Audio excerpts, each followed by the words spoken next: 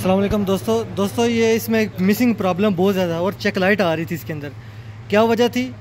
ये देखें Hilux two अशारिया seven V V T I very very timing ignition इसमें प्रॉब्लम क्या है? मिसिंग प्रॉब्लम है बहुत ज़्यादा। कोयलें भाई खोल रहे हैं। दिखाएँ भाई कोयलें दिखाएँ। अच्छा जी। ये कोयल। कोयल ठीक है बिल्कुल है? ये देखें कोयल बिल्कुल ठीक है अभी भाई लगा रहे हैं। इसके जो प्लग हैं वो बिल्कुल ख़राब है। अच्छा भाई बोल रहे हैं प्लग ख़राब है। दिखाएँ भाई प्लग दिखाएँ हाँ ख़राब कैसे हैं? दिखाएँ हमें।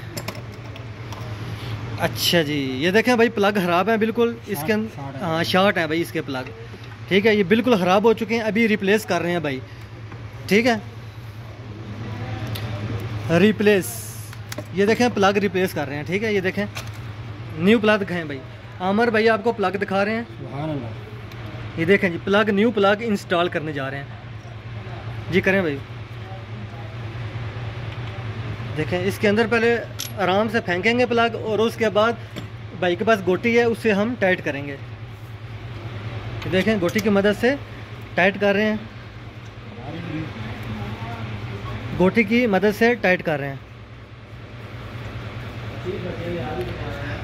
जी, देख सकते हैं भाई टाइट कर रहे हैं, सही तरीके से टाइट करना है आपने। उसके बाद आपने सही तरीके से ग्रिप लगाने हैं थ्रोटल बॉडी की सफ़ाई करनी है। अभी मुकम्मल इसकी मेंटेनेंस करने जा रहे हैं हम, जिससे क्या प्रॉब्लम बनेगा कि आपकी एवरेज, गाड़ी की जो एवरेज है, वो भी अच्छी देना शुरू कर देगा। गाड़ी एवरेज ज़्यादा ले रही है तो एवरेज अच्छा देना शुरू कर देगी, ठीक है? पेट्रोल भी कम खर्च होगा।